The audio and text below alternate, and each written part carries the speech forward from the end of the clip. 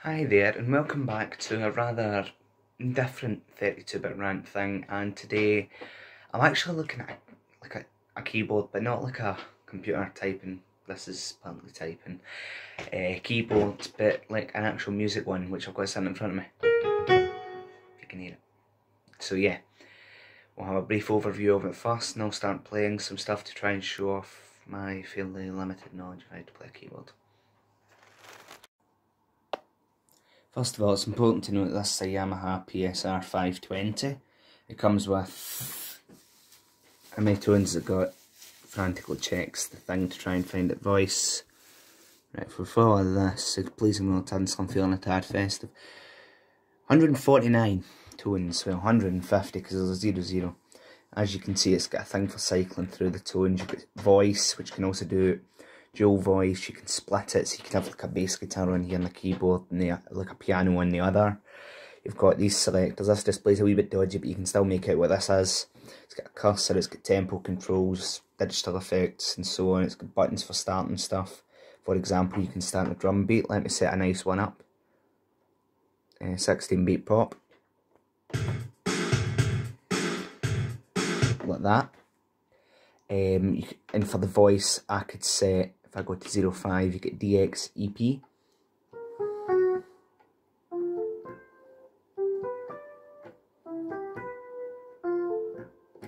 Then if I play a dual voice, this thing really comes alive.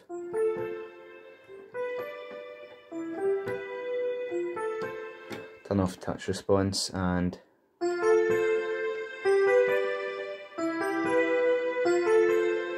You get the idea. It's also got pads over here, which make rather peculiar noises.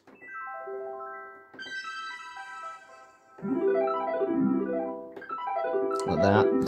And it's got a demo mode, which if I press this button here, it will start playing music.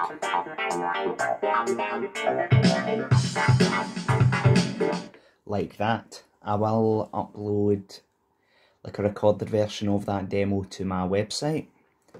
So now I think it's time for us to start playing things on this. So I thought I might as well start with stuff that I've been recording. I don't actually have names for any of the stuff I've made, it's just like basic arpeggios and other things to make up cool synth sound effects and so on. First of all, my piece started like this.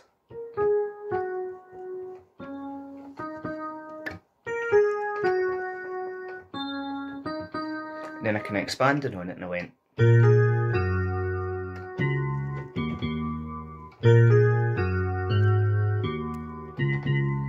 I, started messing about with it, right?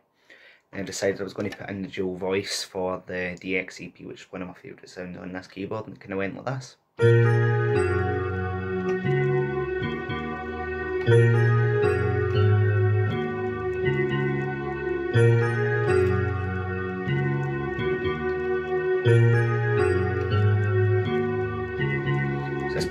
I realised I like a kind of build up towards like a chorus or something. So I went.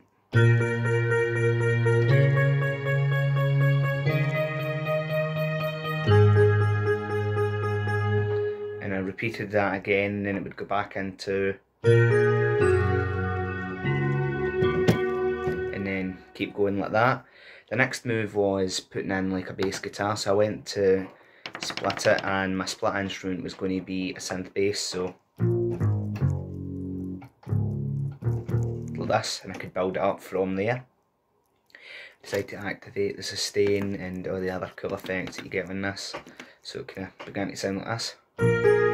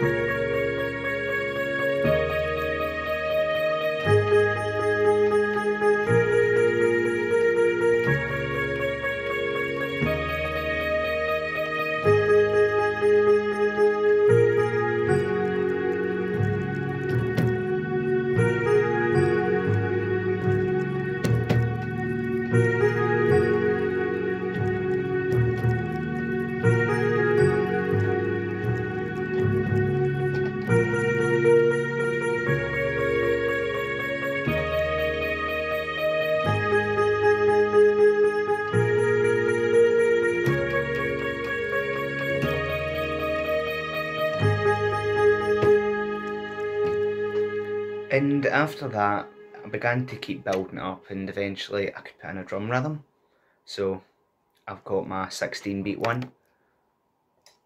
I've got the tempo right, no I've not got a tempo right. But this, 115 beats per minute I thought was good, so I can do this.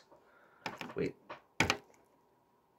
Uh, sorry, I'm still getting used to this. Right. That's a better bass setting. Is there a better one? Oh, that's better actually. So that's techno bass. I like that better. So the next method would be employing the the drum over the top and it'd be a bit like this.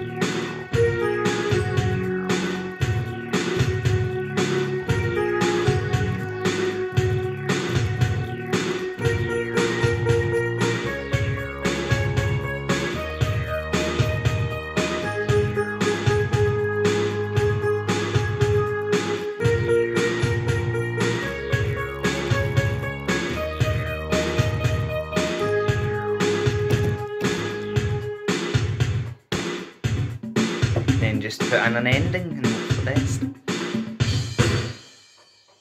Like that, and there we go.